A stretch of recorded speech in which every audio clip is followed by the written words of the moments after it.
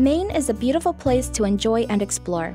From hiking and camping to playing outside with family and friends, there is something for everyone. But humans aren't the only ones enjoying Maine's outdoors. Mosquitoes are also active during the summer and fall months.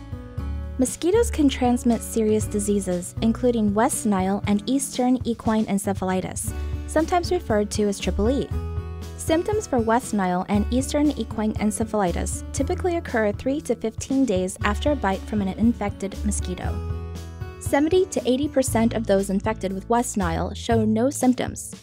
However, those infected with West Nile may experience an illness that starts off looking like a summer cold Symptoms of these diseases are very similar and can include fever, head and body aches, nausea, rash, and swollen glands.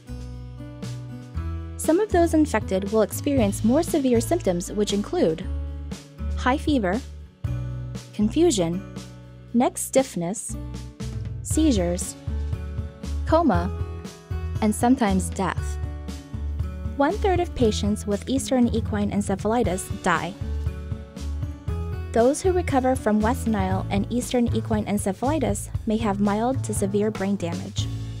There is no specific treatment for West Nile or Eastern equine encephalitis. Severe cases usually require supportive therapy in the hospital. This can include fluids, help with breathing, and nursing care. Currently, there is no human vaccine approved for West Nile virus or Eastern equine encephalitis. There is an effective vaccine for horses that can be obtained by contacting a licensed veterinarian. The best way to avoid West Nile and Eastern equine encephalitis is to avoid being bitten by the mosquitoes that can transmit the disease. For more information on how to protect yourself from mosquitoes, watch our videos on personal repellents and mosquito habitats. Just remember, as you enjoy the beautiful Maine outdoors, protect yourself and your family against mosquito bites.